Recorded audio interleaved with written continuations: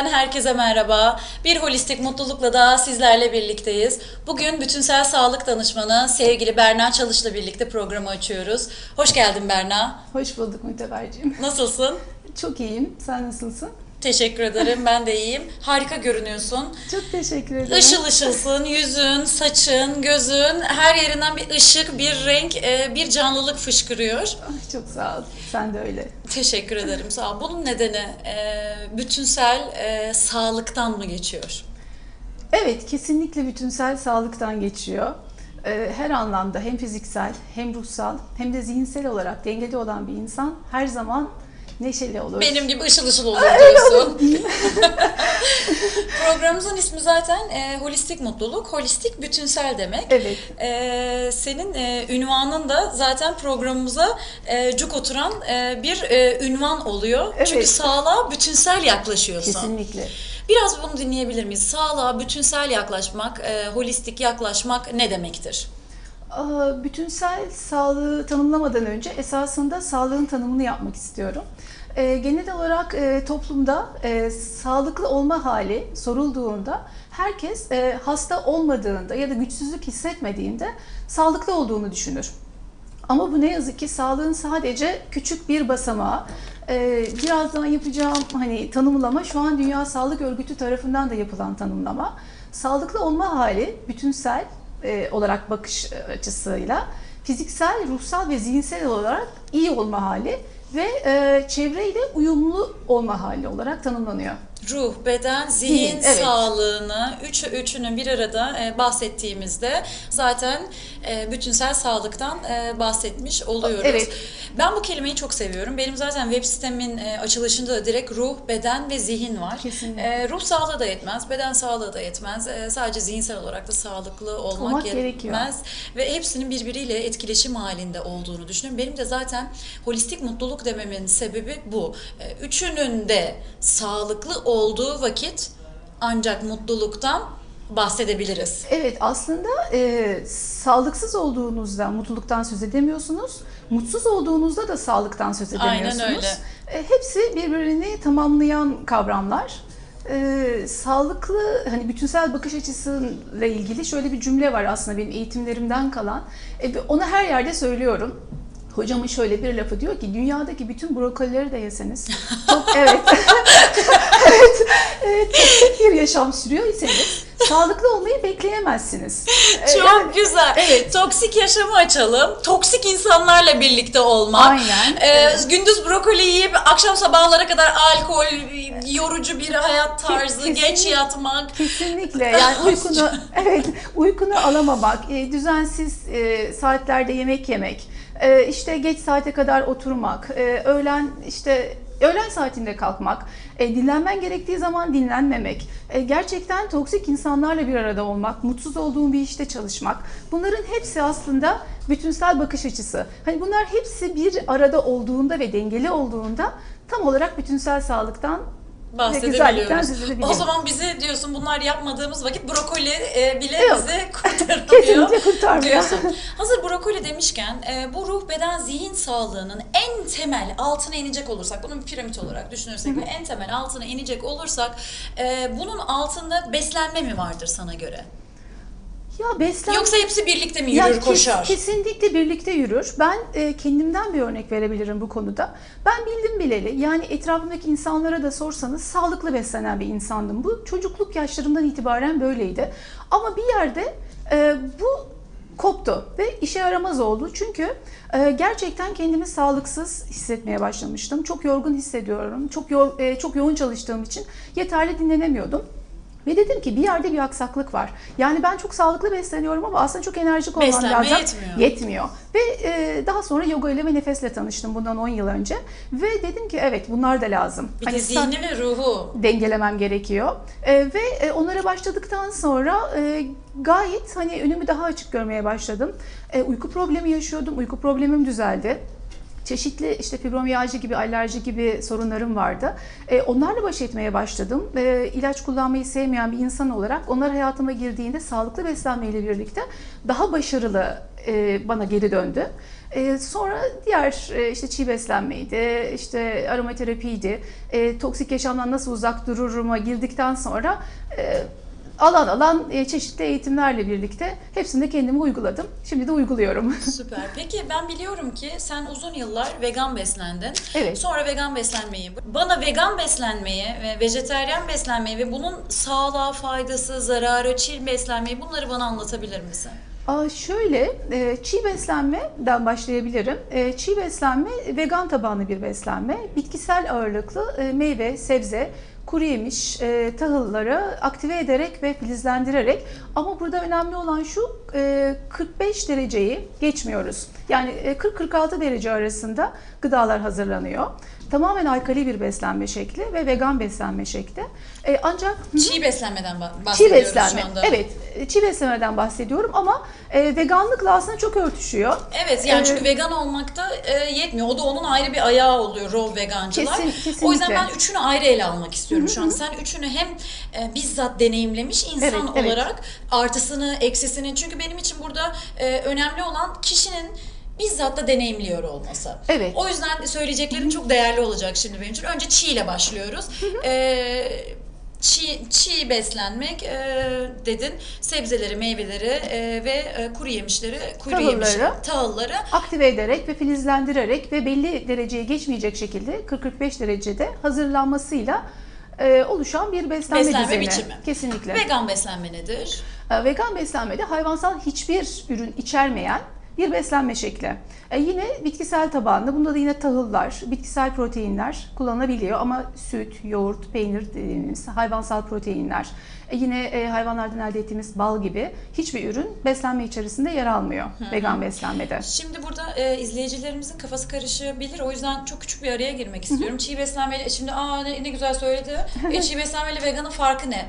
Di- diyenler olabilir. Şimdi veganda çok büyük bir e, şey var. e, risk var, handikap var. Çünkü neler giriyor işin içine? Hamur işi giriyor işin içine. Ya aslında- hamur işi yenilebiliyor vegan beslenmede. Kesinlikle. Zaten hamur işi işin içinden çıktığı vakit zaten büyük olan da zaten sen benim az önce raw vegan dediğim çiğ beslenen Kesinlikle. gruba dahil olmuş Evet. oluyorsun. Bunu böyle bir küçük bir şey yapmak e, istedim. E, bilgi böyle notu geçmek istedim. Vejetaryen beslenmek nedir? Vejetaryen beslenmekte e, hayvansal e, proteinleri yine hani et içermeyen e, süt ürünlerini tüketebildiğiniz bir beslenme biçimi. Yani peynir, yoğurt e, tüketebiliyorsunuz ama e, et, e, tavuk, balık Hayvansal, tarzı e, hayvansal etini eti yani tüketmiyorsunuz. Yine onun da grupları var ama hiç oraya girmek Çok var, istemiyorum. çok var. Evet, yani oldukça ben detaylı. de isimlerini aklımda tutamıyorum. İşte lakto, laktolar, veje- ovolar Hı, bir şeyler. evet. E, hiç o yüzden e, oralara girmiyorum. Peki sen üçünü de deneyimlemiş bir insan olarak kendinde sadece bu bireysel bir soru soruyorum şu anda senin uzmanlığının dışında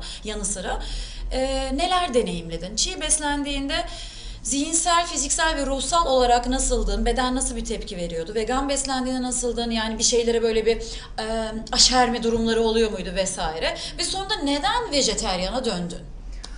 Aa, evet bu tabii kendi aklımda da hala böyle içimde e, kendi Gidip geldiği. gidip geldiğim bir konu. Çünkü bazen yine veganlığa dönüp sonra yine vejetaryenliğe dönüyorum. Aslında her şey zihinde bitiyor.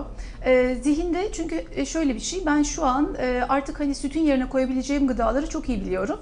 E, önemli olan hangi- Mesela iz, izleyenler için bilgi verelim. Sütün yerine neler Mesela koyabiliyorsun? şöyle, e, sütü genelde kalsiyum açısından e, alıyoruz. E, yoğurdu ayrı bir yere koyuyorum çünkü o ayrı bir probiyotik. Evet. Sütün yerine kalsiyum eğer alacaksam koyu yeşil sebzelerin hepsi yani roka, maydanoz hepsinde yeterli kalsiyum var. E, Bunlara düzgün bir şekilde beslenmemi aldığım zaman aslında kalsiyum eksiği çekmiyorum. Aslında bunun daha da bir açılımı var. Biz ne kadar hayvansal protein alırsak vücudumuz daha fazla asidikleşiyor ve vücut bu asidi tolere edebilmek için kemiklerden kalsiyum çekiyor. Ha, çok çok güzel bir şey söylüyorsun. Hayvansal protein dediğin için süt ürünleri de var. Süt ürünleri de var. Evet.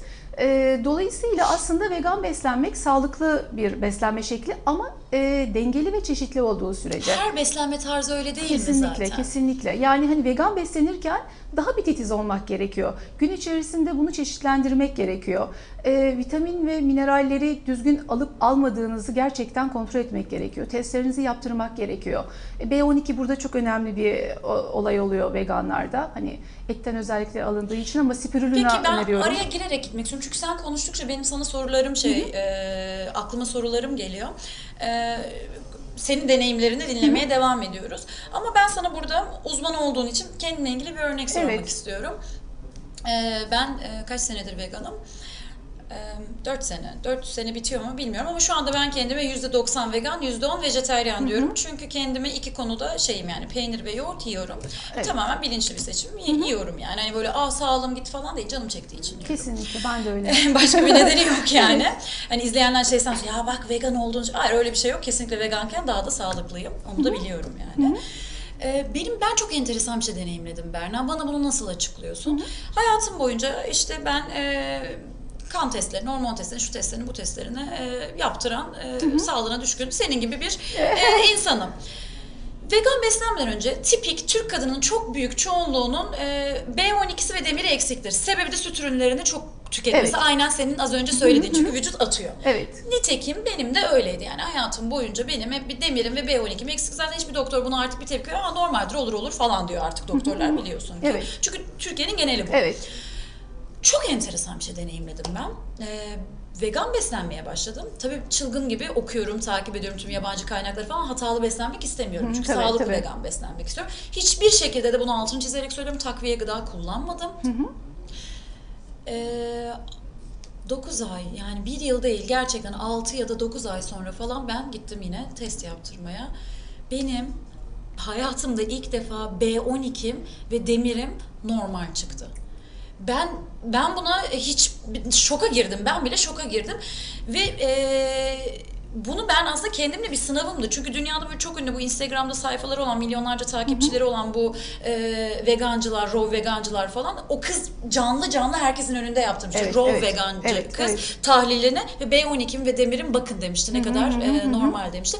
Ben de ya şaka mısın ya? Hadi ben de deneyeyim falan dedim ve benim de normal çıktı. Nasıl oldu? Şöyle e, zaten... Ama yalan olmasın klorella kullandım. Heh, çünkü onu yalan söyleyecektim. olmasın, Çünkü klorella e, en iyi kaynağı e, mavi yeşil ak dediğimiz spirulina ya da e, yine işte bütün Çünkü yosun türleri. Vücudumdan dem- şeyi atmam gerekiyordu, civayı atmam gerekiyordu. Klorella onun Evet, için çok iyi kullandım. bir detoks aracı aynı zamanda. E, zaten önerdiğimizde genelde e, bu mavi yeşil alg türü olan işte kelpti, spirulina'ydı gibi ürünler oluyor. E, çok fazla yeşil gıda tükettiğinde zaten doğal olarak e, demir yükseliyor. Çünkü e, koyu yeşil gıdaların hepsinde oldukça yüklü demir var. Ve e, hayvansal protein de almadığın için e, çok daha rahat işleniyor vücutta. Çünkü bir de meyve de güzel besleniyorsun. C vitamini aldığında demirin emilimi daha yüksek oluyor.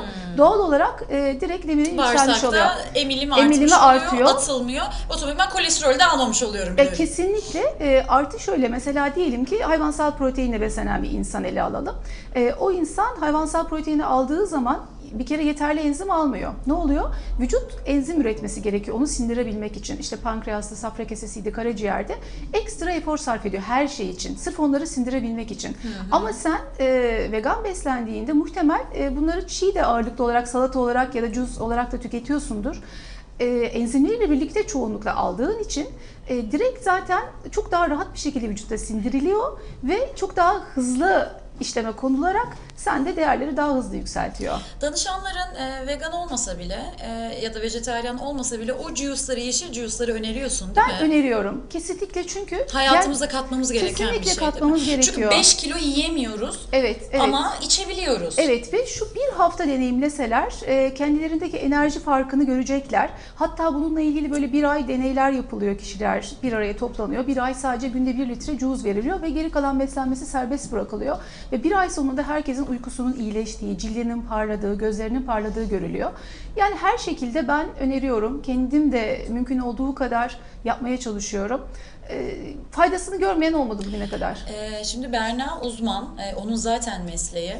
Ee, çünkü bazen şöyle bir şey oluyor, ya uzman işi o yüzden konuşuyor ama ben samimiyetle söyleyebiliyorum ki bunu ben de uygulamış, deneyimlemiş bir insan olarak gerçekten bir hafta içinde hayatınızda bir şey değiştirmeyin. Yani etimi tamam bırakmayın. Evet. Sadece ama sabahları o e, yeşil sebze sularını hayatınıza katın. Yeşil sebze suyuna katı meyve sıkacağınızı alıyorsunuz. İçine e, ıspanak mı, pazı mı, ne- maydanoz mu hepsini işte kafanıza varsa göre ne evde. varsa e, ben yeşil elma ile limon da koyuyorum. Tadını çünkü efsane bir şey yapıyor. Bir, bir yeşil elma bir tane de limonun dış şeyini sarısını soyup hop atıyorum atıyorsunuz. Bir, bir bardak çıkarıyorsunuz. Her gün sabah bunun için sonra istediğiniz sucuğunuzu mu yiyorsunuz? Yine sağlıksız şeyinizi yiyin. Ama hayatınızdaki değişimi göreceksiniz. Ee, bunu ben de uygulamış bir insan olarak gönül rahatlığıyla imzamı e, atabiliyorum. Hatta şöyle e, çok güzel ben de çünkü yeşillikleri ilk etapta yeni başlayanlar içmekte zorlanıyorlar. Biraz o kekremsi tadı alıyorlar. Hani Yeşil elma ile limon koyunca Evet, efsane yeşil bir tadı elma ve oluyor. limon hatta limon organikse dış kabuğunu soymadan attığınızda o kabuğundaki limonenin gerçekten inanılmaz faydası var. Hani antitümöral özelliği var. Ben organik konusunda benim kafam çok karışık Evet. olduğu için oraya hiç girmeyelim. güvendiğimiz organik diyelim, doğal diyelim. Ee, ama gerçekten kabuğuyla kullanmanın da faydası çok fazla. Kaldığımız yerden senin deneyiminden devam edecek olursak vegan beslendin, sonra e, çiğ beslendin, sonra vegan e, Ç- Hala döndün. çiğ beslenmeye devam ediyorum e, aslında. Ama %100 çiğ beslendiğin Hayır, dönem tabii. olmadı. Oldu Aa mu? %70 %80 oldu. Aha. Ee, ben çünkü e, biraz hani çorba falan seven bir kişiyim. Akşamları çünkü çiğ beslenmek bazen zorlayıcı olabiliyor bünye Bu için. yüzden sordum biliyor musun? Çünkü e, benim %100 çiğ beslendiğim e, deneyimlemek adına dönemim de oldu. Evet korkunç bir enerji patlaması Evet. yaşıyordum. Artık uykusuz yaşayacağım, düz duvara tırmanacağım. Hani okuduğumu Evet. böyle hani böyle bakıp böyle şey şey hafıza gibi oldum. ne, ne diyorlardı ona? Fotoğraf hafıza. Evet. Baktığımda anlıyorum falan. Korkunç bir şey oldum yani. Ama e, akşam çiğ yemek, salata yemek bile önerilmiyor zaten. Kesinlikle. Siz uzmanlar önermiyorsunuz. Evet.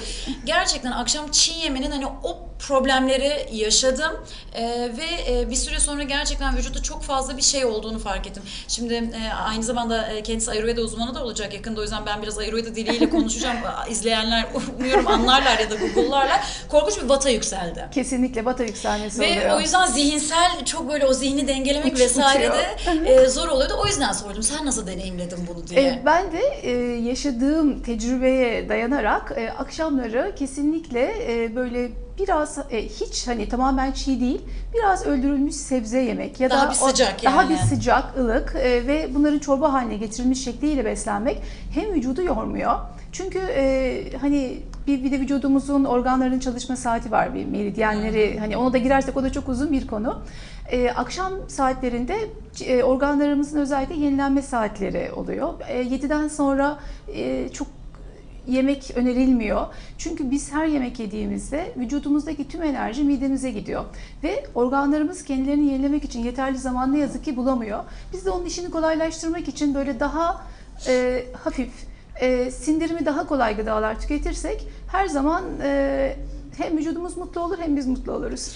Ee, Peki senin ideal beslenme tarzı olarak önerin nedir? Tüm bunlardan yola çıkarak hem senin deneyiminden hem uzmanlığından e, vesaire ideal e, beslenme tarzı olarak kişiye, danışanına ne öneriyorsun? E, tabii Ya da izleyen kişiye sana gelme şansı yok. yapabilirliği doğrultusunda hani benim önerim e, mümkün olduğu oranda eğer hiç çiğ beslenmiyorsa e, çiğ beslenmeyi en azından bu cühuzlarla az önce bahsettik hayatını alması. Hani %40 %50 hani bu alt birim olarak tutuyorum. %30-40 da vegan olsa %10 da istediği her şeyi yese sağlıklı olabilir diye düşünüyorum. Yani bunu ben halk diline çevirdiğimde meyve sularınızı için diyor. Sebze sularınızı meyve Evet. değil. Meyve meyve suyu ben hiçbir zaman tavsiye etmiyorum meyve suyunu. E, Tasvip çok ediyor musun? Öneriyor fazla e, musun? hayır önermiyorum Çok çünkü o fruktoz da olduğunu çünkü o da düşünüyorum. vücudu aside çeviriyor. Hani Evet. burada aslında istediğimiz şey vücudumuzu Bir de çok şeker yüklemesi olduğunu düşünüyorum ben. Şeker yüklemesi oluyor ve vücudu e, hani asit yapıyor. Biz Asitleştiriyor. alkali olması yönünde bütün bu çabalarımız esasında. Çünkü tüm e, Vücudumuz vücut mide hariç alkali. Evet, aynen. Okey. Ee, ş- özetle Evet. özetleyecek olursak e, şey uzmanların şeyi e, sorunu bu oluyor. Kendi dilleriyle konuşuyor. E, meyve sebze sularımızı içebiliriz diyor. Daha çok diyor e, sebze temelli, e, bakliyat Bitkisel temelli, protein bitkisel protein yani ağırlıklı. temelli diyor. Beslen diyor. Yani yine et ürününü, süt ürününü ye ama kaç yüzde kaç oran verdin ona? Yani ben %10 diyorum hadi %20'ye çıktığını Yüzde varsayalım. yirmi onu e, yani denge denge hep ne diyoruz yani bu bir denge denge Evet, kesinlikle denge. yani evet sen pastanı da ya ya ben onu da diyorum illa canım pasta istiyor onu yani her şeyden kendini Tabii, sen tabii. kesebiliyor musun ben kesemiyorum Hayır, öyle bir şey yok. Hiçbirimiz bunu yapamıyoruz. strese sokmanın da bir Yani anlamı olmuyor. Bazen spor yapasın da gelmeyebilir. Tabii, Yapma tabii, bazen tabii. çok uyuyasın da gelebilir. Bazen bu bir denge bence. Kişinin kendini tanıması ve kişinin e, kendi disiplinini geliştirip öz disiplini, öz saygısıyla bir e, denge, beslenme dengesi oluşturması olarak yaklaşıyorum. Doğru, doğru buluyor Kesin- musun bu kesinlikle yaklaşımı? doğru. Çünkü hani kişinin e, kendini mutlu hissetmesi de çok önemli. Kendini bir böyle kutuya sıkıştırılmış hissetmemesi çok önemli. Mesela ben şöyle öneriyorum. Diyelim ki hani hiç alışık değil. E, en başta konuştuğumuz cüzları önerdikten sonra tatlıya düşkün bir insansa ona böyle güzel tarifler sunuyorum. İçerisinde işlenmiş şeker içermeyen işte Daha sağlıklı, daha alternatifli yani. alternatifler sunuyorum. Onlar da genelde e, çiğ kuru yemişlerle böyle hurmayla işte kakao ile yaptığımız tatlılar. E, hem hiç e, tamamen doğal şeker almış oluyor, işlenmiş hiçbir un, gıda ya da tahıl eklenmemiş oluyor. E, hem de e, mutlu olmuş oluyor tatlı yiyerek. Peki bunları hayatlarına kolay adapte edebiliyor mu insanlar? Eğer tarifler Çünkü bir tarzı var, bir bir alışmışı var, alış yani. E, ben hep şöyle söylüyorum. Bugün mesela her şeyi bırakıp yarın bunları tamamen uygulayamazsınız. Birim birim hayatına alması. Yani mesela hiç cüz yapmıyorsa sabahları başlasın. Çok tatlı seviyorsa birer birer azaltsın. Sonra benim verdiğim bu birkaç tarifi denesin. Her deneyen zaten çok seviyor. Sonra ondan tarifler her tarafa gidiyor. İşte bu e, raw pudingler yapıyoruz. Mesela avokado, muz ve kakao ile yaptığımız içine hiç şeker eklemediğimiz. Genelde çok mutlu oluyorlar. Cheesecake'ler yapıyoruz. Çünkü bizim en böyle düşkün olduğumuz Türk halkının tatlı. E, bunları da yapabildikleri zaman diyor ki Aa bak ben bunu yapabiliyorum diyor. Ve kendinde farkı hissettiği zaman da daha bir enerjik olaya eğiliyor ve daha başka ne yapabilirim diye bakıyor. Çünkü hiçbir zaman bir günde değişiklik mümkün değil. Peki kuru yemişin limitini ne koyuyorsun? Ben onu yemeye başladım mı? Ben değil herkes herhalde. Hep e, siz uzmanlar şey veriyorsunuz ya 10 tane 15 tane. Ben de diyorum ki ya sen 10 tane 15 tane yiyebiliyor musun? O, o gidiyor. o, o- onun limitini ne veriyorsun? Ya aslında ben e, şey çok karşıyım. Hani kaloride ve sayı olayına biraz karşıyım. Tamamen doğru ve dengeli beslendiğinde vücut Kalori ihtiyacı hesabı yapmaya kalori gerek hesabı yok. yapmaya gerek yok. E, bir de ben kuru yemişleri çiğ olarak ve aktive edilerek yenmesini öneriyorum. Çünkü e, Aktive etmek ne e, demek? akşamdan suya koyup sabah tüketmek ya da gün içerisinde en az 2 saat suda bekletmek içerisindeki e, enzimleri aktive ediyor ve canlanıyor. O zaman- Ayurveda da öyle öneriyor. Evet ve e, o şekilde tükettiğimiz zaman hem daha fazla enzim almış oluyoruz hem de canlı gıda yemiş oluyoruz. O zaman çok da yenmiyor. Hani dikkat edildiğinde Aa, aslında çok fazla yiyemediğini fark ediyorsun. Çünkü e, bir iki boyutuna çıkıyor neredeyse. Ama işte kolay olmuyor. Yani kendimden pay biçiyorum. Ee, dışarıdayım, koşturmacı bir koşturmalı bir gün. Dışarıda sağlıksız herhangi bir şey yemek istemiyorum. Ee, ve hani hemen hop diye bir kuru yemişçiden işte böyle çiğ badem e, vesaire bir şey alıyorum. 15 tane falan yemiyorum yani. Ama onu öğün niyetine zaten tükettiğin için Ha, o bence tamam, o zaman, o zaman masumum. yani o kadar diyorum ya hani kalori hesabını çok doğru bulmuyorum.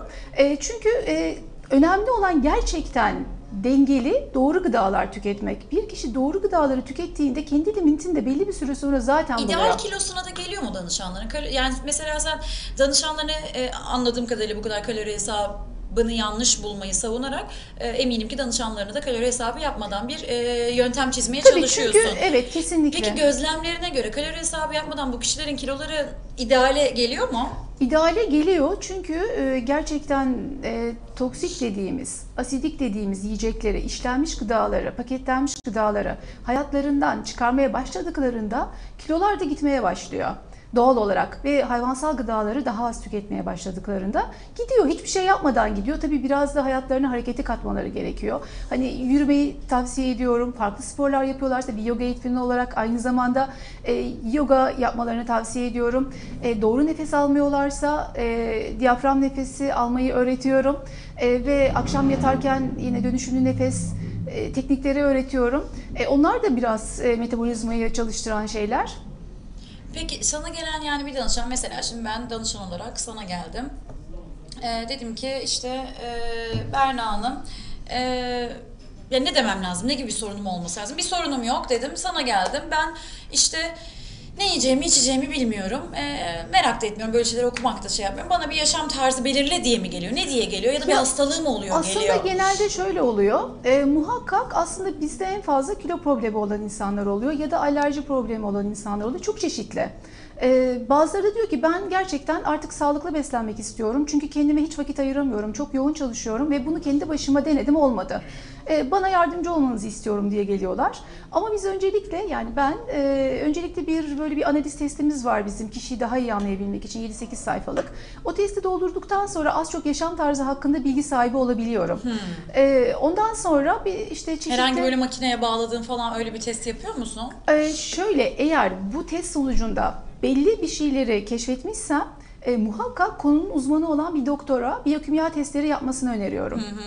Ee, yani mesela e, daha önceden de kendi diyabeti varsa, e, uzun süredir kontrol altında değilse, tansiyon problemleri yaşıyorsa, e, muhakkak hani yaptırıp yaptırmadığını soruyorum. Önerdiğim testler oluyor ve o testlerle ilgili hangi Sonuçlarını branşa- alıyorsun. Tabii ve e, muhakkak da o branşın doktorunu doktoruna gitmesini öneriyorum. Ondan sonra ben yine onları kontrol ediyorum. E, neler yapabileceği yönünde, hani neler yapabiliriz bunun için, nasıl düzgün olabilir? İşte yine eğer alması gereken ilaçlar varsa, muhakkak alması gerekiyorsa e, onları kullandırtıyorum. Bazen farkında olmadıkları enteresan problemler açığa çıkabiliyor. Mesela problemi var. E, testleri tiroid özellikle çok karşılaştığım bir sorun.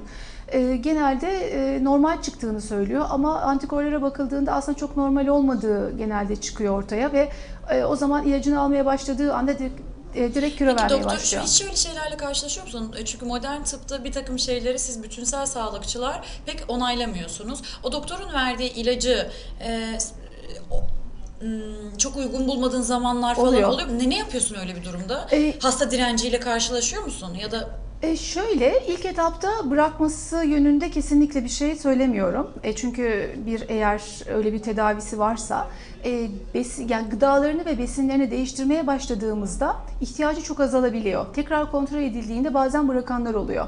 Özellikle e, hipoglisemi için kullan, herhangi bir şey kullanıyorlarsa ilaç ismi vermiyorum. ben doğru beslenmeyi ona e, çiziyorum diyorsun. O zaten doğru beslenmeyle birlikte ilacını da kullanıyor. O normal dengeye geldiğinde zaten o dakikada bırak, bırak, bırak, bırakmaya bırakıyor. azalmaya başlıyor. Mesela bu yine e, tiroid hormonu çok önemli mesela. Hani e, gerçekten alması gerekiyorsa çünkü vücudumuzun maestrosu e, eğer almazsa e, sistem çalışmamış oluyor. Dolayısıyla onu mümkün değil bıraktırmak ama e, farklı şekilde destekler sunarak e, miktarı çok çok azalabiliyor. Madem tiroidi açtın, hani sadece spesifik bir şeyle konuşacak olursak tiroidde, bu tiroidin az çalışması, çok çalışması, e, bu da yine beslenmeyle mi ilgili? Mesela ben tiroidimin çok çalışmasını istiyorsam buna uygun bir beslenme ne olabilir? Yani çünkü tiroidin çok çalışması demek e, daha e, daha çok enerji yakmak, o aldığımı daha kaloriyi daha çabuk enerjiye çevirmek vesaire demek. Doğru mu biliyoruz? E, doğru. E, aslında hani daha fazla e, tiroidimin daha fazla çalışmasını istiyorum demekten ziyade metabolizmamın daha fazla çalışması için Ha. neler yaparım sorusu belki daha, Daha- doğru olur. okey. Çünkü e, tiroid için herhangi bir şey e, mesela iot aldığımız zaman hani tiroidimizi çalıştıran bir şey. İyot almadığımız zaman e, tiroidimiz belki daha az çalışabilir mi? ama Bilmiyorum. tabii iyotla bağlantısı var tiroidin. Ben mesela benim otoimmün tiroiditim var. Bana yasak çünkü ben e, kendim e, düşük dozda e, alıyorum Ne ilacımı. demek o? Aa, bir arada Hashimoto. Zaten benim bütün bu yollara girmem, girmemin en önemli Hep sebeplerinden öyle oluyor zaten. Evet, İnsan kendini keşfet, kendi sorunumu çözeyim diye kendine kesinlikle. e, keşfederken, keşfetmeye çalışırken abi bakıyorsun uzman olmuşsun, insanlara dağıtıyorsun Evet, aldığını. evet, evet. Ee, benim mesela genel olarak az çalışır. Ee, çok dikkat etmek Bu gerekiyor. düzeltilebilecek bir şey değil mi? E, eğer normalde hipotiroid ise evet Hashimoto'suz, hiper, hipotiroid ise beslenmeyle, spor yaparak, Peki hormonal- hipotiroid doğuştan mı oluyor? Önce ona gelelim. Ne gibi bir yanlış yaptı da hipotiroidi oldu Çok bu kişinin? nadiren, çok nadiren doğuştan olabiliyor. Muhtemel yanlış beslenmiş olabiliyor. Hormonal dengesizlik olabiliyor. O kadar e, bunun karışık bir mekanizması var esasında. Hmm. Hani işte hipofiz, epifiz bir sürü e, hormon üreten e, bezler burada devreye giriyor. E, Vücuttaki herhangi bir sistemdeki aksaklık, yani vücudun toksik olması bile e, bu hormon düzenlenmesinde problemlere Hmm. neden oluyor ve ne oluyor? Daha az çalışmaya başlıyor. Aslında vücudumuzdaki bütün bu hormon üreten bezleri etkileyen en önemli şey hücrelerimizin toksik yüklü olması. Hmm. Yani ne kadar toksiksek o kadar e, metabolizmamız yavaşlamaya başlıyor. E, hormonal sürecimiz bozulmaya başlıyor. E, hepsi zincirleme. Anladım. Ee, o zaman tiroid için doğrudan bir şey söylemiyorsun. Metabolizmayı hızlı çalıştırmak, hızlandırmak adına. Evet. Bize spesifik bir şey örnek verecek olsan metabolizmamızı daha hızlı çalıştırmak için neler yapabiliriz? Aa, öncelikle hareket. En önemlisi hareket etmek. Ee, bol su içmek her zaman söylediğimiz. Ee, sindirim sistemimizin iyi çalışıp çalışmadığını kontrol etmemiz gerekiyor. İyi çalışan bir sindirim sistemi, iyi çalışan bağırsaklar çok çok çok önemli. Ee, eğer e, yediklerimizi sindiremiyorsak e, doğal olarak e, bunlar vücudumuza toksin olarak birikiyor. Toksin olarak biriken her şey hem kilo olarak geri dönüyor hem hastalık olarak geri dönüyor. E, tabii e, spirulina gibi e, bu deniz ürünleri her zaman hem çinko içerdikleri için hem de e, iot da içerdikleri için onlar da gerçekten e, tiroidi destekleyen şeyler. Ama Hashimoto'yu bir kenara koyuyorum. Onlar evet. da tiroidi destekliyor. Tabii kelp, spirulina bunlar gerçekten Chlorella. o da. Onlar hepsi e, deniz ürünleri özellikle ama e, Ne kadar mucizevi şey ya. Yani B12'nin olduğu tek e, bitkisel gıda Spirulina, aynı evet. zamanda tiroidini dengeliyor, vücudundan toksini atıyor, ağır metalleri atıyor. atıyor. Kesinlikle. Şaka gibi. Şaka gibi. Ee, aslında zamanımızı çok açıyoruz ama seni hiç bırakmak istemiyorum. Çünkü konuşacak konu çok. Bir de senin yüz analizin var. Evet. Bu nedir? Bunu bana bir kısaca bahsedebilir misin? Bir kişinin yüzüne bakıyorsun saatlerce ya da dakikalarca. Evet. Ee, şeyini söylüyorsun yani Ee, ona e, fal gibi. eksikliklerini- Şeyini çıkarıyorum diyorsun. Filmin ne diyorlar ona? Röntgenini Röntgeni, çıkarıyorum. eksik minerallerini bu ne bu? görebiliyoruz. E, bu- Gözünle yapıyorsun çünkü bunu. Kesinlikle. Özel kılan bu. E, şüsler mineral terapisi. E, şüsler mineralleri vücutta e, eksiklikleri, e, çeşitli rahatsızlıklara, akut ve kronik hastalıklara sebep olan mineraller. Vücudumuzdaki tüm hücrelerde ve dokularda bulunan mineraller.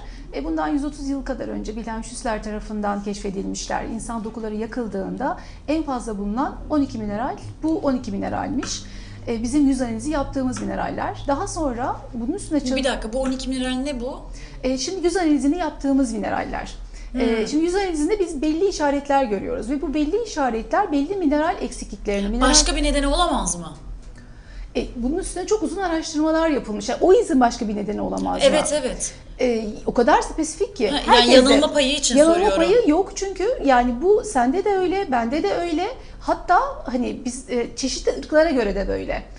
Yani aynı yerde aynı işareti görüyoruz o mineral eksikliğinde. Peki bunu e, bunun sonucu yapan kişinin uzmanlığıyla ilintili değil mi? Hata e, yanılma payı vesaire. E, genel olarak mesela diyelim ki yüzünüzde e, bir mineralin eksiklik izi var. E, o sizin yaşadığınız semptomlar da e, o mineralin eksikliğini gösterir nitelikte. Mesela e, diyelim ki e, işte heyecanlandığında ben kızarırım. Çoğu insanda kızarır. Kızarmayanlar da var. Mesela o zaman bunun en önemli eksikliği mesela magnezyum fosforikum bize göre şüsler mineral terapisinde. Kızarmayan insanın mı? Yok kızaran insanın. Eğer yanakları güldüğünde, heyecanlandığında kızarıyorsa magnezyum fosforikum eksikliği var deriz. Öyle mi? Kesinlikle ve o insanlar genelde bitter çikolata isterler mesela severler bitter çikolatayı. Ama bunun ten rengiyle falan el alakası var zannediyoruz biz. Hayır. E, hep deriz ya hani yana, yanakları çok kırmızı, çok sağlıklı. Aslında değil. E, tabii iki tip. E, eğer hani mesela diyelim ki üşüttün, grip oldun, e, yanakların kızardı, ateşlendin. E, bu bambaşka bir mineral eksikliğinin göstergesi. O da mesela ferrum fosforikumun eksikliğini gösteriyor. O da biraz böyle yanaklara dokunduğunda kızarır, işte renklidir, yani kızarıktır. 12 tane mineral için kişiyi alıyorsun, oturtuyorsun ışığın altına ve inceliyorsun Şu an onu. 27 mineral inceleyebiliyorum ben ama temel 12 mineral var. Ee, tabii bunda belli kural var. Kesinlikle gün ışığı olmalı. Yani gün ışığı alan bir Makyajı odada. olmamalı, Makyajı gün olmamalı. ışığı olmalı. Hatta krem dahi olmamalı. Peki şöyle baktığın vakit mesela şimdi be- o- 35 dakikadır benimle oturuyorsun. Baktığın vakit artık çünkü şey bir şey oluyor yani hani böyle karşındakinin içini görebiliyor gibi bir şey oluyor. Çünkü meslek şeyi yani. Evet. Ee, bakıyor musun böyle karşındakine normal hayatına baktığında "Ha, onun da gözünün altı da mor da ya canım senin de bilmem neyin eksik falan filan Ya yapıyor tabii musun? bazen ya çok yakınlarımda bunu rahat bir şekilde söylüyorum. Aa işte senin aa, kalsiyum floratumun eksik. Bak işte şurada şöyle bir izin var diyorum. Ee, ya da mesela hani bunu çok rahat e, sen de görebilirsin. Ee, mesela gözenekleri çok olan insanlarda ge- genellikle tuz dengesi bozuktur. Mesela onlarda sodyum kloratum eksikliği vardır. Ee, yoga eğitmenisin. Ben de yoga eğitmeniyim. Ee, pek çok böyle eğilirken kalkarken eklemlerinden ses gelen kişiler vardır. Mesela bu buradaki sinoblast sıvının azlığından kaynaklanır. Ama aynı zamanda ben bunun işaretini yüzümde gözenek olarak görüyorum mesela. Aa, Evet. Her, ya işte vücut nasıl bir makine çok enteresan Kesinlikle. ya. Peki kapatmadan şöyle hızla bana baktığında biliyorum da sağ şeyin altında bakman gerekiyor. Şunu da dikkatimi çekti falan gibi bir şey var mı? Yoksa o kadar ölümcül bir şey yok. Sana ışığın altında bakmalıyız durumun mu var? Ya ben kesinlikle hani e, hem yakından bakmalıyım hem 20 dakika sana odaklanarak bakmalıyım en çok az. da enteresan bir şey. Yani çok yakın temas yani. Ya ilk önce uzaktan enteresan. bakıyoruz. Böyle renkler, e, belli renklerin açığa çıkması için. Daha sonra yakınlaşarak baktığımız belli izler var. Ama doğrusu gerçekten e, buradaki ışık çok yanıltıcı olacağı için. Ama mesela hani ben de mesela görebilirsin. Hani belli gözenekleri daha belirgin olan insanlarda e, hemen diyoruz ki şu numara eksik. Ya da e, mesela e, dudakların üstünde çizgi olan insanlar görürüz. Ben bu şüsler mineral terapisti olmadan önce e, onun e, belli sebepten kaynaklandığını düşünüyordum. E, ama sonrasında aslında bu dikey çizgilerin vücuttaki asit baz dengesinin e, düzgün olmadığında olduğunu öğrendim. Peki benim son zamanlarda bir şikayetim var. Ee, çok ok- e, okuyan bir insanım. Güzel uyuyan, güzel beslenen bir insanım. Öncelikle bu Ha, harika. şeyleri, bilgileri vereyim. Ama çok okuyan bir insan ondan dolayı olduğunu düşünüyorum. Ee, gözümün altının rengi daha koyu. Mor demiyorum. Yani öyle hani mor mor insanlar oluyor. Evet. Öyle değil ama bu beni rahatsız ediyor. E, aslında bu, Ne eksikliği oluyor? Bu, bu- neyi yanlış bu şöyle yaptım? oluyor. Aslında hani tabii ki yanlış yapmak değil ama zaten mite- e, mineral ve e, bu mineral tuzlardan söz edeyim. Diğer mineral vitaminleri bir yana Ya da bunu koyuyorum. dengelemek için ne yapmam gerekiyor böyle zamanlarda? Çünkü her her gün böyle değil. Ha, neden eksildiği? Çünkü e, birincisi e, doğru beslenmediğimizde eksiliyor. İkincisi aşırı fiziksel ve zihinsel aktivite gösterdiğimizde de mineral tuzlarımız İşte benim eksiliyor. o ikinci Kesinlikle. grup. Ben o durumda nasıl dengelemeliyim mesela? Aa, Bu durumda dinlenmelisin en önemlisi. Çok basit. Bu sorumu dinlen git Yani ama tabii şu var hani mineral eksik tespit es- ettik diyelim. Hani gözünün altında belirgin e, diyelim ki bir numara eksikliği var. Ben bunu almanı öneriyorum. Daha sonra içinde bunların olduğu makromolekül boyutunda beslenmede bunları katmanı öneriyorum. O zaman belki daha az yorulacaksın ya da o morlukları daha az göreceksin. Hmm. Yani mesela ben de e, çok yani çok okuyan, e, vaktimin çoğunu okuyarak geçiren iş dışında bir insanım. Ben de çok göz kurulu yaşıyorum. Ve bunun aslında önemli nedeni vücudumdaki e, suyun dengesiz olması. O durumlarda eğer gün içerisinde yeterli içmediysem mesela sodyum kloratın bunu çok güzel dengeleyen bir sofra tuzu dışında bu mineral tuzlardan bahsediyorum. Ondan aldığım zaman bu e, mesela çok fazla gözümün batmadığını görüyorum. Normalde çok daha batarken okurken e, onu aldığımda aslında göz sıvımın dengelendiğini hissediyorum. Hem de daha fazla su almaya gayret ediyorum. Bir de mineral tuzumu alıyorum. Bir şekilde tedavi olmuş oluyorum. Ee, peki e, son olarak şunu soracağım. Yönetmenim mesaj atıyor. Ee, 10 dakika açtın diye. bitmiyor yönetmenim. Soru bitmiyor yani. Dolu bir insan gelince soru bitmiyor. Ee, hasta geldi sana. 27 taneyi analiz edebiliyorum dedin. Ee, analizini yaptın. Ee, ilacı ya da takviye diyoruz galiba. Besin ilaç değil. Aslında ilaç değil. E, Ama o takviyeler, supplement dediklerimizden Evet. veriyorsun Evet değil mi? veriyorum tabii tabii. Onu peki neye göre veriyorsun? Yani herhangi bir şey atıyorum C vitamini git al mı diyorsun yoksa herhangi bir markanın bir şeyini mi veriyorsun? O da fark ediyor mu sana göre? Bir sorun bu bitirmeden önce. İki bu takviyelerini aldı kucak dolusu gitti. E, bunlar genelde işte 60-90 tane oluyor yani 3 ila 4 ay diyelim. E, 3-4 ayda bu sorunlar çözülmüş oluyor mu yoksa bunları ömürlük kullanmaları mı gerekiyor? Eksikliğe bağlı olarak değişiyor öncelikli olarak ama e, bu eksikliğimiz bir anda olmadığı için uzun yıllara dayanan bir eksiklik günde de olduğu geçmiyor. için bir günde de geçmiyor ama e, 4-6 ay gibi bir süre. E, çünkü bunlar mikro moleküller düzeyde dil altından alınıyor. Lenflerden çok hızlı bir şekilde kana geçiyor. E, eksikliği bir an evvel doldurabilmek adına. E, çünkü vücutta ne kadar eksiklik fazla olursa Tüm hepsi dil- senin önerdiğin ürünlerin tamamı dil altından mı alınıyor? şüsler mineralleri dil altından alınıyor ya da eğer Şüsler mineralleri bu 27 tane mi oluyor? Kesinlikle yüz analizi yaptığımız mineraller oluyor. Tamam. E, suda çözündürülerek de alınabiliyor. Bunun tabii çeşitli Bunların birçok çeşit markaları var mı? Sen git şunu mu al diyorsun? markaları var. Bunlar numara numara adlandırılıyor. Bir numara, işte bir numara eksikliği, iki numara, üç numara, dört numara olarak söylüyoruz. Rahat bulunabilen şeyler mi bunlar Aa, şu piyasada? an Türkiye'de rahatlıkla bulunabiliyor. Birden 12'ye kadar. Kişiler bunları eczanelerden mi temin ediyorlar Eczanelerden- yoksa besin takviyesi e, E, şu an dükkanlarından ez- şu mı? an eczanelerden temin edebiliyorlar. Okey tamam. Ve 400 tane var içerisinde çok az değil. E, bu özellikle şüsler için konuşacak olursak. Ee, yani kısa sürede bir ayda e, farkı görmeye başlayacaklardır. Yani mesela yüzünde çok Yaşam kaliteleri de artıyor. Yaşam kaliteleri art- artmaz. Mesela bizim şey dediğimiz böyle bir power dediğimiz bir karışım var. Ferrum fosforikum, e, potasyum fosforikum ve sodyum kloratium bir araya geldiği böyle power karışım. E, muhakkak mesela biz çok yoğun eğitim sırasında ya da Aa, çok yoğun olacağı günlerde Onu, onu bana mesela mesaj at. Onu, onu ben alayım. Analiz falan yaptırmama gerek yok herhalde. Bana bir power up o tabii o power al- alabiliyoruz mesela eğitim sırasında o Tamam, mineralleri unutma, bana bir mesaj atarım. Onları alıyoruz ve akut durumlarda mesela grip olacağını hissediyorsun. Çünkü ben hep böyle bir şey arıyorum. Yani e, enerjisi normal insandan yüksek bir insanım ben. Evet. E, ama çok seyahatimin oldu, bilmem neyin oldu vesaire vesaire az uyumak zorunda kaldım. Rengime bile yansıyor. Rengim böyle saçma sapan sarı mor bir renk oluyor. Tabii yorgun. Çok yorgun oluyorum ve otomatikman da vücut enerji istediği için daha çok yemek yemeye Kesinlikle, yöneliyorum. kesinlikle. İstemiyorum yemek yemek. E yemesem çöküyorum. E Evet. yesem e, kilo alacağım. E öyle bir arada kalıyorum. Hani o sırada istiyorum ki ya diyorum şöyle bir şey olsun bir atayım böyle hop kalkayım. E, ka- kafein senin bir yere kadar Kesinlikle. götürüyor ki kafein önermediğimiz hiç- bir şey. evet. Tamam tamam biliyorum. Ama kullanıyoruz yapacak Evet. bir şey yok. O yüzden öyle bir power bir şey e, şey Evet, yapıyordum. böyle karışımlarımız var. Yani bu mineraller hem eksiği yerine koy- koyuyor hem de akut durumlarda destek oluyor. Yani mesela e, bir örnek daha vereyim. Programın süresi açtığı için çok, Çok açtık evet çok çok E, açtık ama üşüttün. bırakamıyorum. Üşüttün, ateşin çıktı. E, kendini kötü hissediyorsun.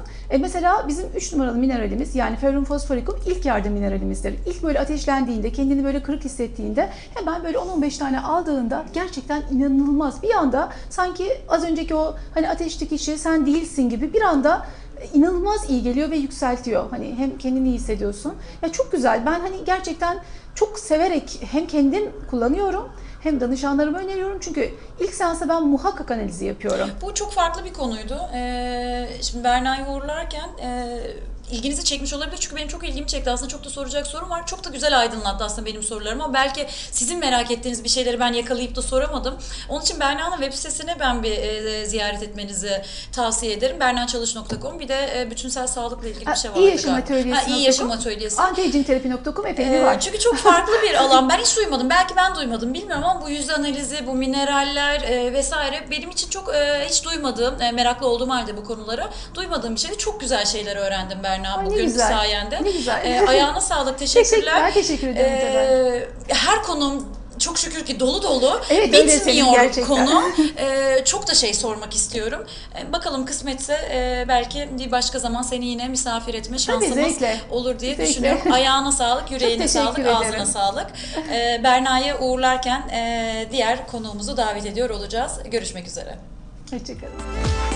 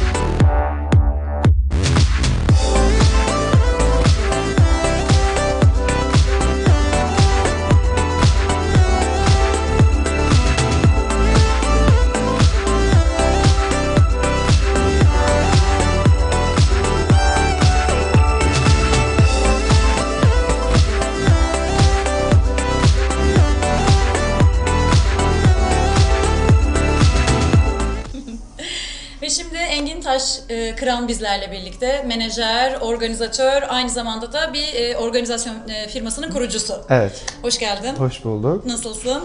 Çok iyi, yorgun. Yeni bir etkinlikten çıktık, e, buraya geldik. Hoş geldin. Akşam yine bir etkinliğimiz olacak, oraya geçeceğiz. Hoş Sizin bulduk. hayatınız böyle zaten. E, oradan gireyim madem. E, na- nasıl bu hayata dayanıyorsunuz? Ya e, dayanmak değil ama mesleği artık bunu e, yaşam biçimi etkisi. haline getirdiğimiz için bize çok e, dokunmuyor bu. Seviyoruz, severek yaptığımız için çok da şey bulmuyoruz ama bir düzenimiz olmuyor sadece. Çünkü işimizi de düzenimizi de işimize göre kurduğumuz için böyle yaşamaya alışkın bir şekilde devam ediyoruz. Şimdi e, senden önce sağlıkçı e, bir arkadaşımızı gönderdik. İkinizi herhalde yan yana alsaydım e, herhalde konu tamamen hayır o yanlış Engin Bey, bu yanlış Engin Bey, bu böyle olmamalı diye giderdi diye düşünüyorum. Kesinlikle. Çünkü e, bilerek de aslında konuklarımızın e, iki farklı uçta olmaları benim çok hoşuma gidiyor. Çünkü bir yanda holistik mutluluk program, e, bir yanda full sağlıkçılar, e, bir yanda özür dilerim telefon sessizde ama bozuk o yüzden böyle e, geliyor. E, özür diliyorum herkesten. Bir yandan full sağlıkçı yaşayan insanlar, e, diğer tarafta da mesleğinin getirdiği mecburi e, onlara göre sağlıksız bir yaşamı takip eden insanlar. Nihayetinde bakma ben hep şunu sorguluyorum. Mutlu musunuz? Çok. Severek yapıyorum o yüzden mutluyum. Bir de üretken tarafımız çok fazla. Burada hani e, sabit bir yerde hani memur hayatında seçebilirdik ya da bir şirkette kurumsalın başında da olabilirdik ama bu yolu biz seçtik çünkü burada olmamız gerekiyor, üretmemiz gerekiyor, insanlara fayda sağlamak gerekiyor. Şimdi bir kere hani e, organizasyon yapıyoruz ama halkla sanatçı, halkın sevdiği sanatçıyla onlar arasında köprü olmak da çok güzel bir duygu. İletişimcisiniz aslında. Evet, Yani köprüsünüz. kesinlikle öyle. Ee, bence çok yani keyiflidir diye tahmin edebiliyorum. Her baba yiğidin harcı olmadığını da düşünüyorum yaptığınız şeyin. Ee, çünkü iki tarafı da idare etmek zorundasınız Kesinlikle değil mi? memnuniyet üzerine kurulu bir sektör. Hani e, her iki tarafı da memnun etmek zorundayız. Sanatçıyı, halkı, halk o konserden çıktığında Üç taraf oluyor aslında. Ben iki gibi düşündüm ama aslında üç. Bir sanatçıyı getiren taraf var, bir halk var, bir de sanatçı var değil mi? Aslında üç ayaklı bir e, çalışma biçimi oluyor. Kesinlikle. Peki e, baktığımızda bunun e, zorlukları neler? En böyle sayabileceğin ya Muteber şu da çok zor, en zor tarafı da bu ya bunun şöyle dediğiniz. yıllardan beri 2009 senesinden beridir etkinlikler yapıyoruz. İlk e, organizasyon sektör hayatına çok farklı bir şekilde atıldık. İşte Bostancı Gösteri Merkezi Anadolu yakasında orayla başladık. Ve çok iyi isimlerle girdik sektöre. İşin mutfağından geldiğimiz için artık belli başlı şeylerin zorluklarına alıştığımız için bizim için en zor tarafı bir nevi aslında devletle orantılı çalışıyoruz. Yaşadığımız sıkıntılar, yaşadığımız olaylar bizi çok fazla Hmm, etkiliyor. konjonktüre çok bağlı diyorsun. Kesinlikle birçok sektörü etkiliyor bu zaten ama bizi çok daha fazla etkiliyor. Hmm. Çünkü e, uzun zaman bir planlamasını yaptığın yeni sezon için biz şu an e, kurum olarak Aralık ayına kadar full etkinlikleri doldurduk. Belki 25-30'a yakın etkinliğimiz var. Ama Allah korusun bir bomba işte patlasa hepsi çok iptal büyük, edilebilir. kesinlikle hepsi çok büyük isimler. Sanatçı hastalanabiliyor. İşte etkinlik olunca bu sefer halkı e, idare etmek zorunda kalıyoruz. Ya da mekana gelen e, Benim müşteri... en merak ettiğim eee, öyle konularda para işi nasıl oluyor? Sanatçı hastalandı.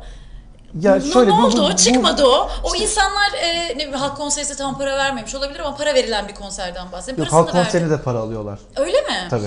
Tamam. Belediye festivali ya da bu O tarzda- paralar ne oldu? Konser tarihi değişikliği yapıyorsun tekrar. Tekrar reklama çıkıyorsun. Tekrar halka söylüyorsun işte tarihte Halkın şöyle çıkacak. bir avantajı oluyor mu? Ay yok ben efendim o tarihte şehir dışındayım.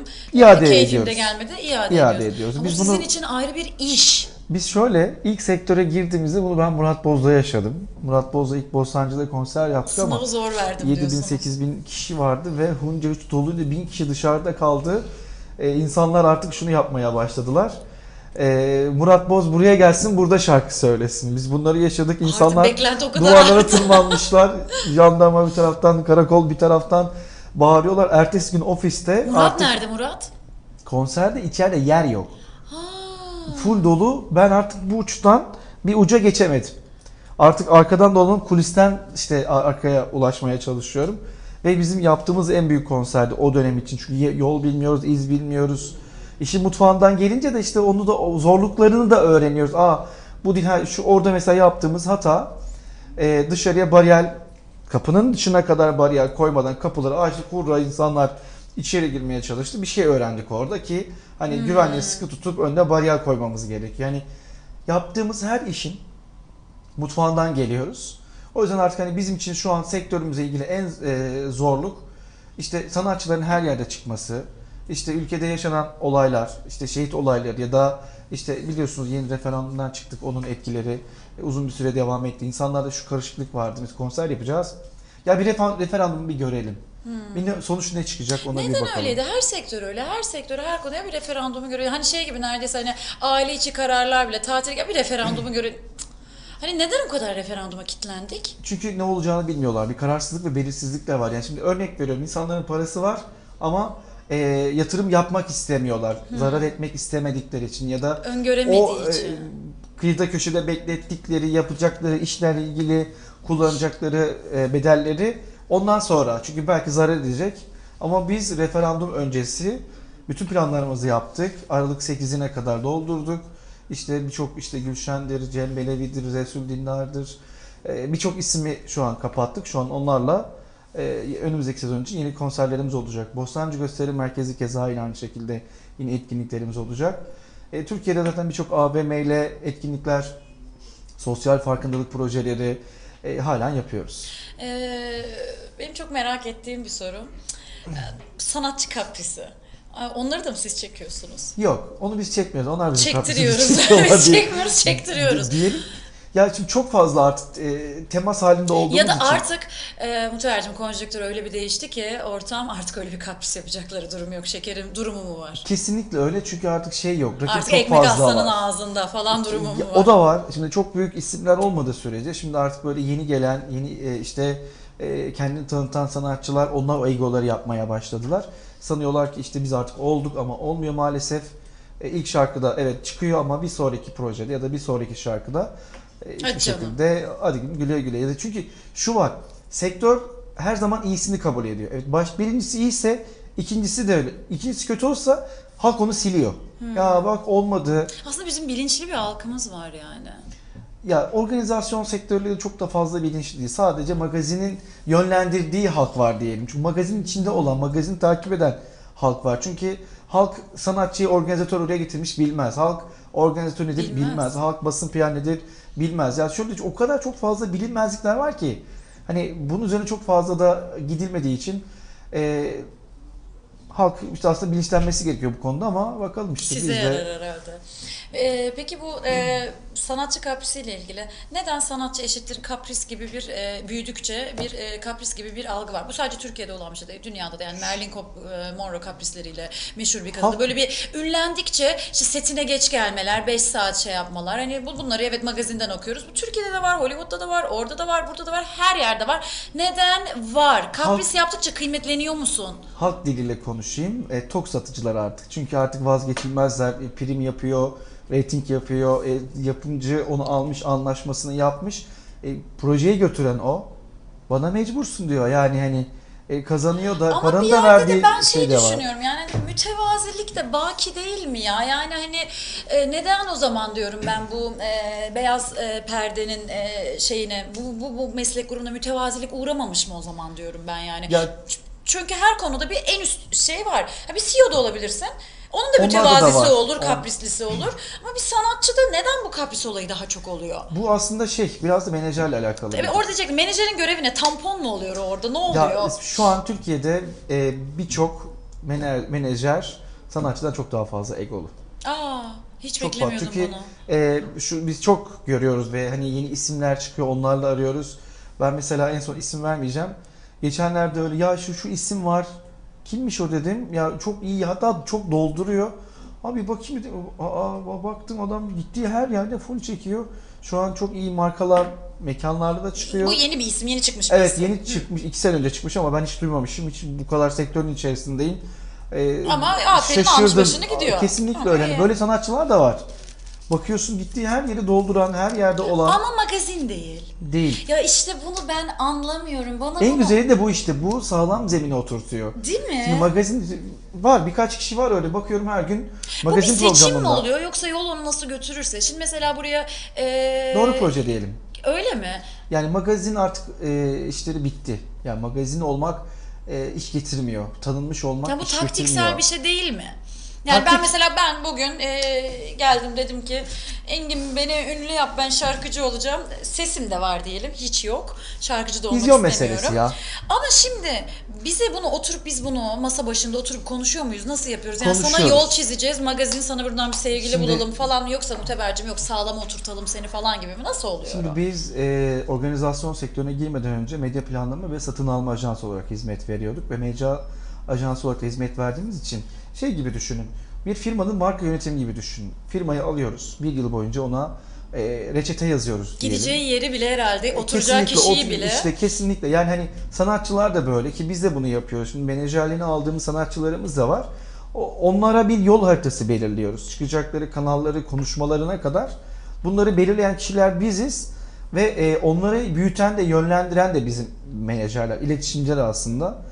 E, ama doğru yönlendirilme, proje doğruysa tutuyor. Eğer sırf magazini olmak Pof, istiyorsa poflu bir şeyse yine de o ne yapsan olmuyor, artık. patlıyor Magazin bitti yani. çünkü ben her gün görüyorum magazinde olan ve birçok e, magazinin içi her her gün kanalda iş gitmiyor, gittiği yer boş. Ben bunu şeye bağlıyorum. Onaylayacak mısın beni merak ediyorum. O Andy Warhol'un söylediği bir gün herkes 5 dakika ünlü olacak. Evet artık 5 dakika değil çok daha uzun da ünlü olabiliyoruz. Herkesin bir YouTube kanalı işte Instagram, Facebook canlı, Dijital o canlı, mecra. bu canlı. Hani o yüzden ben kendim de magazin olabiliyorum. Kendi ünümü kendim yaratabiliyorum. İşte o kadar fenomen var yani. O yüzden magazine ne kadar ihtiyaç var gibi İşte bir o şey. fenomen konusuna girerseniz ben buradan çıkar giderim artık o derece. De- Yani çok, e, gruplar mı bu oluyor? sevmediğim değil aslında. Herkes kendi Tilt işini oldu. yapıyor ama e, fenomenler sektörü biraz daha düşürdüler. Hmm. Yani televizyondan çıktılar ben fenomenim. Her televizyondan çıkan fenomen oldu. Her DJ'lik denilen bir kavram var. Aslında bu çok ya fazla sen bir sanat. benim yara- şimdi hani senin tamam bu mesleğin ama e, benim de bu içsel olarak şimdi ben bu konuları hep e, yapımcımızla otururuz e, tartışırız. E, benim uzak olduğum bir şey olduğu için ben daha böyle spiritüel mi spiritüel falan. O da bana hayatın acı gerçekleriyle bak bir de bu gerçek var falan diye. E, kendisi şu anda orada ama kendine şey yaptığımı pek anlamıyor herhalde. E, ben diyorum ki ona ya diyorum isim vermeyeceğim. Bunu diyorum niye gülüyorlar? Hani ben mi diyorum hani ben mi çok hani ciddi bir insanım? Hani ben mi çok kopmuşum bu dünyadan diyorum. Hani niye bunu ünlü yapmışlar ve buna niye gülüyorlar? Ve bu niye fenomen olmuş? Ben anlayamıyorum. Onun açıklaması da beni tatmin etmiyor. Ben çözemedim. Sen de çözemedin. Yani şöyle hani Hani e, halkımız bu kadar ha- mı sığlaştı diyorum işte ben. o- ya şey var insanlar şeyden bıktı. Ya Ona da da- düşünmüyorum, katılmıyorum çünkü. konserlerden, etkinliklerden bıktığını da çok fazla düşünmüyorum. Çünkü bir Gülşen'in konserine herkes gidiyor. Demet Akalın konserine herkes, Herkes gidiyor. gidiyor. Hani bence hani sanatsal kimliği oturtmuş insanlar herkes gidiyor ama bir de bu fenomen denilen bir şey oluyor. Neyini merak ediyorlar? Ben anlamıyorum. Yani stil yarışmaları var, model model yarışmaları var. Giriyorlar. Çıkınca aa ben oldum şak şak şak hadi bir gece kulübü alıyor. Biz de bazen esprisini yapıyoruz. Organizatörüm de orada oturuyor. Ee, Cem diyorum hadi alalım hadi DJ yapalım kabine koyalım. Yani bu geçen şunu fark ettim. Oturuyorum evde. Nihat Odabaşı. Hiç böyle farkında bile olmadan acaba DJ kabine otursak mı falan düştüm. İki gün sonra baktım başka bir mekana kabine çıkmış. Ya ben isim de vereceğim valla. Ee, hiç de şey yapmayacağım, utanmayacağım. Ee, aşk doktorunun adı neydi? Mehmet Dizi- Coşkun Ha, Deniz. Mehmet Coşkun Deniz. Çok severim. Çok iyi bir arkadaşımdır. Ya ben onu ama DJ kabininde görünce ben şoka girdim. Çok gereksiz bir proje. Neden bence. dedim. Yani e, bahsettiğimiz mekan da yani o Zorlu'daki otelin adı neydi Evren? Tapız. Ha, Ruffles'da Sevgililer Günü e, resepsiyonuydu. DJ kabinde biri diyorum ki ben bunu tanıyorum yani hani kim bu kim bu ah dedim bu aşk doktoru tanımıyorum. Çocukluğumdan beri takip ettiğim birisi. Ama diyebilirim. niye orada dedim şimdi yani hani bazen benim insanlara bir şey de ya eleştiriz çok özür haddimi aşıyorsam gerçekten herkesten özür diliyorum. Ee, ama yani bir şey de yapmayın ya diyorum popüler diye yani hani sen zaten kitabın var senin kitabının filmi çekilmiş sen zaten postada hala orada mısın bilmiyorum ama bir şeysin bir şeysin Orada. bir şeysin zaten sen.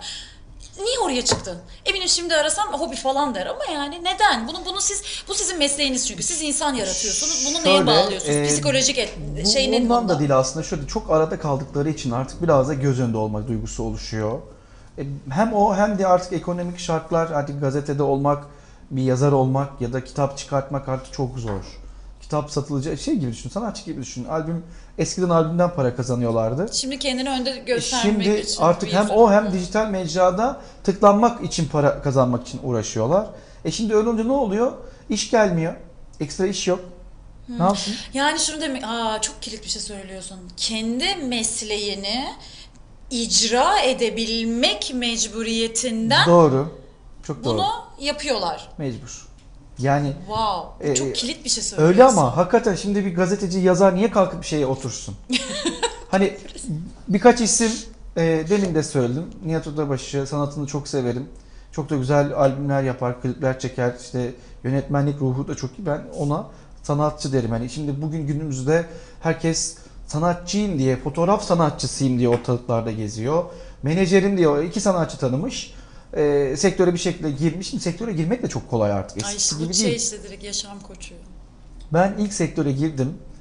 Ee, şimdi bir, bir sebep oldu, bir şey oldu girmek için ama böyle konser programı çıkarttım işte Şebnem Ferah, Sezen Aksu mekana gittik gösteri merkezine. Öyle abi dedim ben bunları yapacağım böyle. Sen kimsin ki bunları yapacaksın ya dedi. Senin paran geçmez burada dedi bana ya. Sen hayırdır sana dedi bana böyle. Abi dedim parası değil mi ne olacak falan. Sezen Aksu ben yapıyorum. Ebru Gündeş ben yapıyorum. Aa onların Böyle kalbi destekli. kendi- Hmm. kendi- Bana da kaldı dört sanatçı. Gülşen, Murat Boz, Gökhan Tepe'ra. Ya Allah bereket versin bari bunu yapalım dedik. Girdik öyle hani o kadar çok şeyle karşılaştık ki menajer o dönem bizim için ulaşılmazdı. Şimdi sanatçılara ulaşılıyor. Evet. Sanatçılara ulaşılıyor. Ya Her Instagram'da yerdeler. yazdığın yoruma bile cevap yazmıyor mu yani? Evet artık ulaşılmaz. Artık ulaşılmaz olan, olmak popüler değil bence. Kesinlikle Ya öyle. popüler olan erişilebilir olmak. Bu benim kendi şahsi sosyolog değilim, bir şey değilim. Ee, benim kendi analizim bu yönde. Ya ben de biraz aslında ulaşılmaz olan sanatçı her zaman çok daha iyi gidiyor diye düşünüyorum. Çünkü Öyle mi? Ters her yerde olmak, her kişiye Ama cevap mesela bir vermek. Demet Akalın örneğimiz var.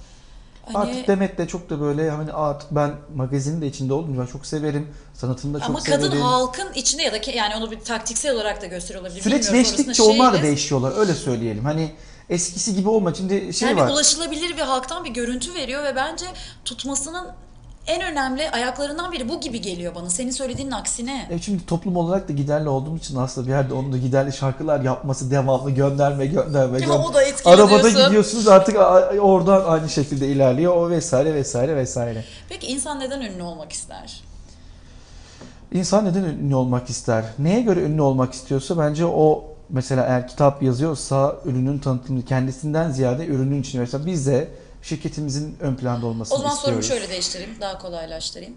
Ee, neden e, insanların, bir takım insanlar yaptıkları işin her ne iş yapıyorsa yapsın, e, adının önde olmasını ister ya da hiçbir iş yapmıyorsa da neden bir insan sosyal medyada çok takipçisi olmasını ister? Neden? Başarı ya da başarılı olduğunu göstermek için aslında ya da başarısızdır Başarısız çok da da e, ba- başarısızlığını da kapatmak için aslında bunu kullanmak isteyebilen çok insan var. Örneklerini çok iyi biliyorum.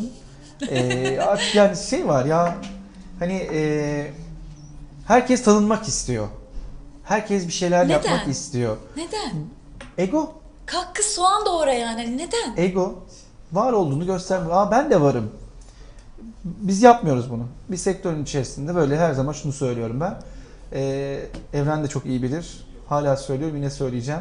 Herkesin her şey olduğu yerde ben hiçbir şeyim. Ya, Biz mi? atölye kafasında çalışıyoruz. Değil Biz mi? atölye mantığında çalışıyoruz. Projeler geliştiriyoruz. Neler yaptık? Bir pazarlama işi menajerlik, organizasyon yani pazarlama Biz değil mi? oradan geliyoruz Yani. zaten. Çünkü mecra ajansı olunca bir şekilde bir pazarın içerisinde bulduk kendimizi ve sürekli kendimizi yeniledik, sürekli kendimizi geliştirdik. Çünkü demin onu örnek vereceğim. İşte bir yazar, bir gazete yazarı, kitap yazarı neden DJ'lik yapsın? E biz de şimdi zamana göre değişiyoruz. Şimdi sektör bizi değiştiriyor, sektör bizi yönlendiriyor. E şimdi bakıyorsunuz iş gelmiyor, kitap satılmıyor, albüm satılmıyor. E ne yapsın? DJ kabinine çıkacak. 3 bin lira 5 bin lira alıyor kabine çıkıyor. Bunu devamlı aa diyor ki ben bunu diyor bak diyor iyi, iyi bir dönüşü var diyor. Mecbur ona kayıyor. Daha iyi iş çıkarabilmek için hem unutulmamak, arada kalmamak için bunu yapıyorlar. E şimdi biz mecra ajansı olarak girdik sektöre. Basın PR'la başladık. Arkasından medya planlamayla başladık. Sürekli geliştirerek. Mecra ajansı ne? Ee, minibüs dolmuş reklamlarını bilir misiniz bilmiyorum bu şeyler. Mecra dediğim bu billboardlar Ha, vesaire ha, bunlar okey, bir okey. mecradır. Açık hava mecrasıdır, outdoor mecrası. Hı hı. Ve bizim de tekelden yaptığımız kendimize ait mecralarımız var. Hmm. Bunlardan bir tanesi taksi, minibüs dolmuş reklamları. Biz böyle girdik ve ben oradan kazandım. Üzerindeki giy- giysiler Evet, mi? reklam o reklamlar Ha, olur iki hı, yanlarında bir hı. arkasında. Oradan kazandıklarımızla biz sektöre girdik. Aa. Ve ben hani derler ya hani işin zorluklarını mutfağın fazla fazla gördüm. Ama başarı da öyle geliyor. Ben çok memnunum. Yani başarı da öyle Başarısızlık geliyor. da beni mutlu ediyor. Yani e, geçen hafta satış koçuydu e, şeyimiz, konuğumuz. E, o da bunu söylüyor. O da eğitimci, eğitmen. Yani mutfağına e, girmezsen olmaz yani. Mutfağından yükseleceksin. Yani hiç kimse diyor öyle bir günde CEO olmuyor diyor. Öyle bir şey yok diyor. Maalesef. E, evet yani Ama şu anki o, o şey şeylerin dönemde- tırnakların şey olacak diyor. E, dizlerin kanayacak diyor yani. Kesinlikle öyle. Yavaş yavaş ve ağır ağır. Hani bir anda çıkarsan bir anda da çabuk inersin. Bir de benim çok merak ettiğim bir soru daha var. Hazır e, senin gibi e, bir insanı yakalamışken e, merak ediyorum bunu. E, bunun da ben hep örnekleri hem Türkiye hem dünya olarak bakarım. Bunun da bence dünyada da Türkiye'de de aynı. Neden hep en başarılılar, en popülerler ve nihayetinde en e, zenginler de çok kazananlar olmuş oluyor otomatikman. Bu şeyden e, toplumun alt tabakasından gelen insanlar oluyor. Neden daha hırslı oluyorlar?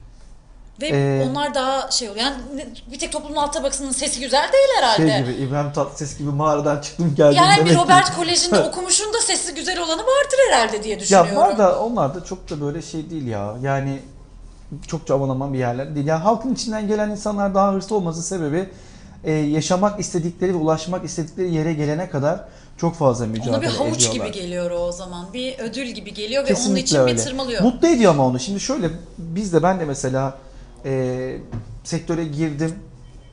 Ailemden çok böyle aman aman bir şeyden var. Ben de aslında mağarada doğdum falan. böyle konuya Her girermişim. şeye giriyor. Evet, Oxford vardı biz mi okumadık gibi. Urfa'da? Ya zaten iletişim mezunuyum ben de.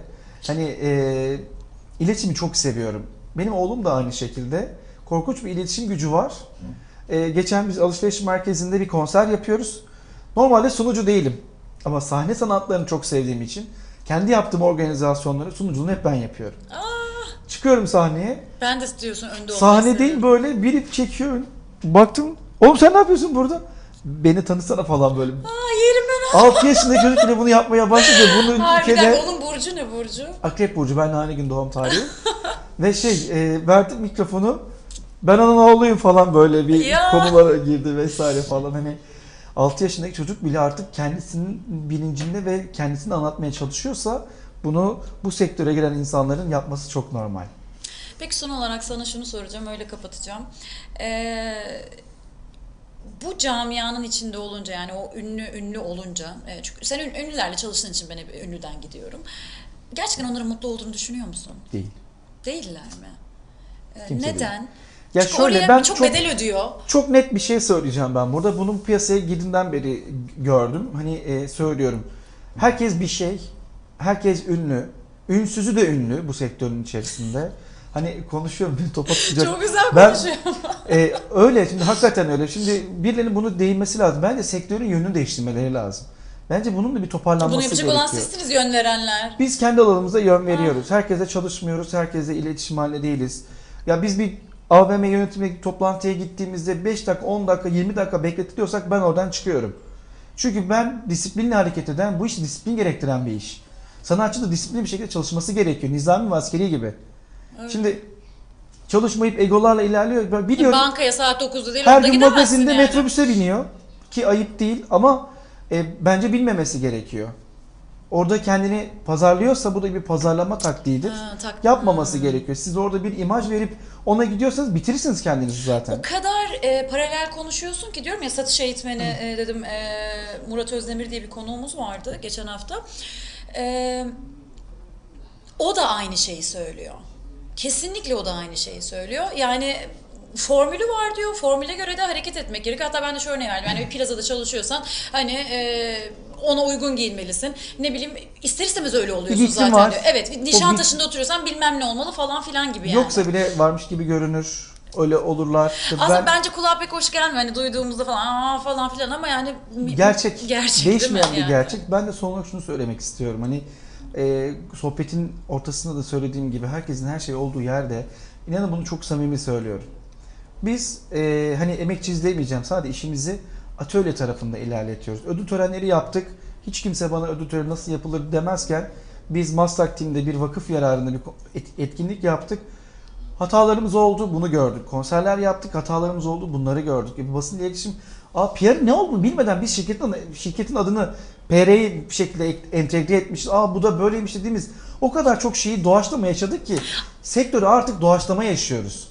Ama bir şey söyleyeyim mi? Ee, artık yani hani beni şey yapmak sana mı kaldı demezsin inşallah ama o kadar bir şey hoşuma gitti ki ee, sen de kendini eleştiriyorsun. Hani belli bir noktaya gelmiş bir insan. Hani şurada değilsin, şuradasın ve kendini eleştiriyorsun. O hatayı da yaptım muteber, bu hatayı da yaptım, bunu da öğrendim, şunu da öğrendim ve tam dediğin noktaya geliyoruz. Hiçbir şey olmamış adam kendini mükemmel gibi gösterirken olmuş bir insanın hani küçülmesi hani büyüdükçe valla bunu da bilmiyordum. PR'ın ne demek olduğunu bilmiyordum falan diyorsun ve bence bu o kadar bana hem güven veriyor, hem Çok sempatik geliyor ve hem böyle insanın şey yapası geliyor, e, yapışası geliyor. Herhalde bu da bir formül yani. Aslında Samimiyet. e, şöyle samimi duygularla işimizi biz hislerle yapıyoruz aslında ya.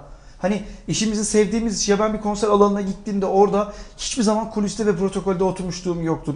En arkaya geçerim, oturma ederim böyle sahnede izlerim, dolanırım etrafta, sıkıntı var mı, problem var mı, sorun var mı?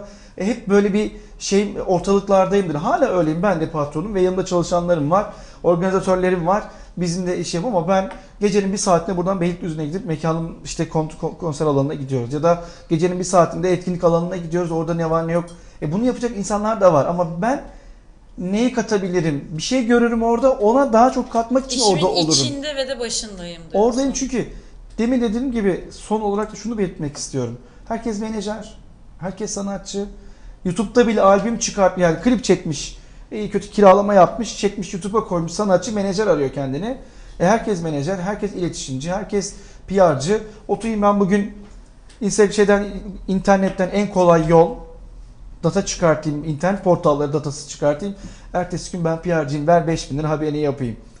Böyle oldu. Sektör bu yüzden ucuzladı artık. Ya. O yüzden o bir tarafta kayan insanlar, gerçek sanatçılar, gerçek menajerler bir yerlere kaydı ki böyle böyle de yavaş yavaş tükeniyorlar. Tükeniyorlar da devam Sonu edecek. nasıl görüyorsun gidişatı? Bunlar elenecekler mi? Ee, yoksa daha da ortalık e, ya mı yönü değişmediği sürece bunlar asla değişmeyecek, devam edecekler. Dünyayı takip ettiğimize göre dünyada nasıl bu iş? Ya dünyada bizim gibi değil. Onu biliyorum. Sana Öyle mi? Avrupa'daki sanatçılar bizimki kadar kaprisli değil. Biz yabancı konserler de yaptık. Getirdik de, buraya da getirdik. Ya da yönlendirdik yaptık da ama emin olun bizdekiler kadar egolu değiller. Daha çok emekçi tarafta oldukları için bir de doygun ve doymuşlukları da var onların. Bizim gibi değiller. Bizde 5000 kişiye, 3 100 kişiye konser veriyorsun ama 5000 kişiye konser vermiş gibi imaj veriyorsun. Bunu yapmıyorlar. Adamlar 100 bin lira konser veriyorlar. Ya stadyum doluyor, stadyumları Ve dolduruyorlar. geç çıkmıyor. 15 ben işte bu, bu benim tüylerim tüylerim Ben AVM'lerde konser yapıyorum. Bana işte AVM'ye çıkar, e, tamam yapalım. Yarım saat 45 dakika geç gelen insanları biliyorum. Ya biz ekip olarak sabahın AVM açıldığında oradayız. Bütün hazırlıkları yapıyoruz. Tekniği hazırlıyoruz, detayları hazırlıyoruz. İşin mutfağını, sanatçı performansını sağlam bir şekilde yapsın diye uğraşıyoruz. Ablam ya da abilerim, ablalarım neredeyse merhaba abi diyeceğim şimdi artık buradan. Hiç geliyorlar. Ondan sonra iş alamayınca ya Engin ya hadi AVM yapalım. Yok abi ben listemde artık kara liste sanatçılarım var. Çalışmadıklarım var. Asla da biz organizasyon firması olarak çalışmayacaklarımız var.